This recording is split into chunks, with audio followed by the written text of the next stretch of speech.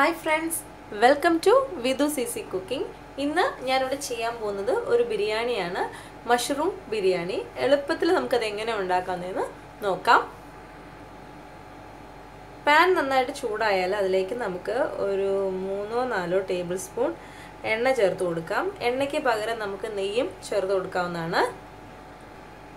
എണ്ണ നന്നായി ചൂടായാൽ അതിലേക്ക് നമുക്ക് സ്പൈസസ് ഇട്ട് കൊടുക്കാം. ഞാനിതിൽ പെരുംജീരകം പട്ട ഗ്രാമ്പൂ ഏലക്ക ബേ ലീഫ് ഇതൊക്കെയാണ് എടുത്തിരിക്കുന്നത്. നമ്മുടെ ഇഷ്ടാനുസരണം നമുക്കത് കൂടുതലും കുറവൊക്കെ നമുക്ക് ചേർത്ത് കൊടുക്കാം. സ്പൈസസ് ഒന്ന് പൊട്ടി വരുമ്പോൾ നമുക്ക് അതിലേക്ക് കുറച്ച് കറിവേപ്പില ഇട്ട് കൊടുക്കാം.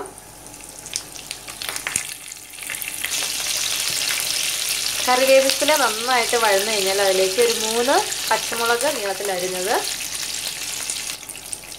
ഇതിലേക്ക് ഇനി ഒരു മീഡിയം സവോള ഇതുപോലെ ചെറുതായിട്ട് അരിഞ്ഞത്.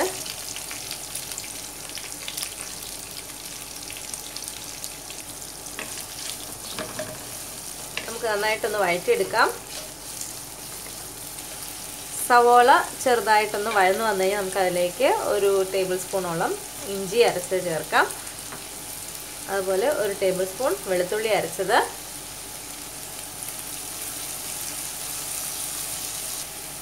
ഇഞ്ചി വെളുത്തുള്ളി പേസ്റ്റ് ഒന്ന് വഴന്നു വന്നു കഴിഞ്ഞാൽ അതിലേക്ക് ചെറിയ തക്കാളി അരിഞ്ഞത് ചേർക്കാം.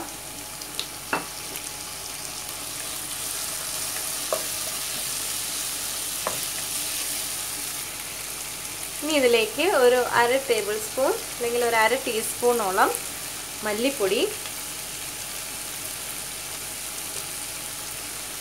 അര ടീസ്പൂൺ അല്ലെങ്കിൽ ഒരു കാൽ ടീസ്പൂൺ മഞ്ഞൾപ്പൊടി.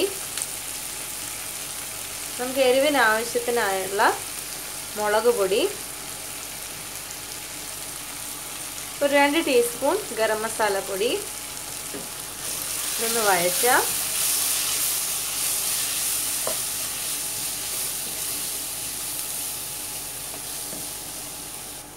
ഇനി ഇതിലേക്ക് ഞാനിവിടെ മഷ്റൂം ഇതുപോലെ കട്ട് ചെയ്താണ് വെച്ചിരിക്കുന്നത്. ഇതൊരു ടു ഫിഫ്റ്റി ഗ്രാം ഉണ്ട്. ഇനി അത് ഇതിലേക്ക് ഇട്ട് കൊടുക്കാം. നന്നായിട്ട് ഇളക്കുക.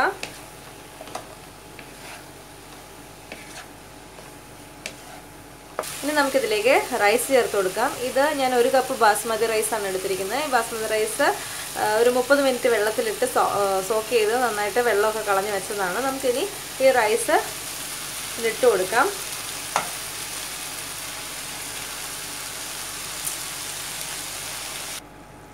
ഇതൊന്ന് നന്നായിട്ട് ഇളക്കി കൊടുക്കാം.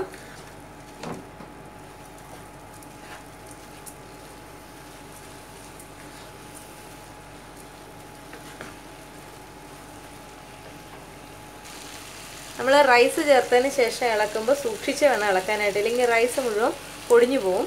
ഇനി ഇതിലേക്ക് ഞാൻ ഒരു ഗ്ലാസ് അല്ലെങ്കിൽ ഒരു കപ്പ് റൈസിന് രണ്ട് ഗ്ലാസ് വെള്ളം എന്നാണ് കണക്ക്. അപ്പോൾ ഞാൻ ഒരു രണ്ട് ഗ്ലാസ് വെള്ളം ഇതിലേക്ക് ഒഴിച്ചു കൊടുക്കുകയാണ്.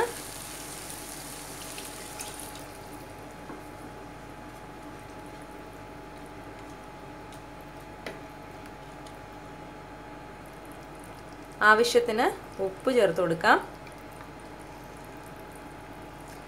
കുറച്ച് മല്ലിയില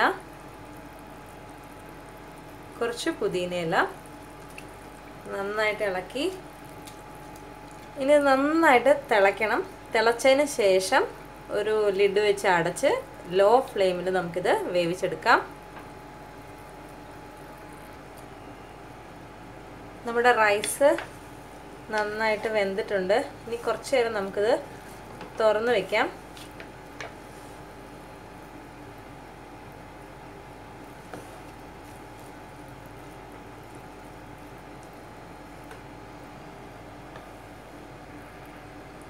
ഇനി ബിരിയാണിയിലേക്ക് ഒരല്പം നെയ്യ് ഒഴിച്ചു കൊടുക്കാം ഞാനിവിടെ ഒരു അര ടീസ്പൂണോളം നെയ്യാണ് അടിച്ചിരിക്കുന്നത്. ഒരുപാട് നെയ്യ് വേണ്ട. കുറച്ച് മല്ലിയില. കുറച്ച് പുതിനയില. നമ്മുടെ ബിരിയാണി റെഡി ആയിട്ടുണ്ട്. നല്ല ടേസ്റ്റാണ് ഇതിന്. നിങ്ങളെല്ലാവരും ഇത് ട്രൈ ചെയ്ത് നോക്കുക. നിങ്ങൾക്ക് എല്ലാവർക്കും ഈ റെസിപ്പി ഇഷ്ടമായെങ്കിൽ എന്തായാലും ട്രൈ ചെയ്ത് നോക്കുക. കൂടുതൽ റെസിപ്പികൾക്ക് എന്റെ ചാനൽ സബ്സ്ക്രൈബ് ചെയ്യുക ലൈക്ക് ചെയ്യുക ഷെയർ ചെയ്യുക. താങ്ക്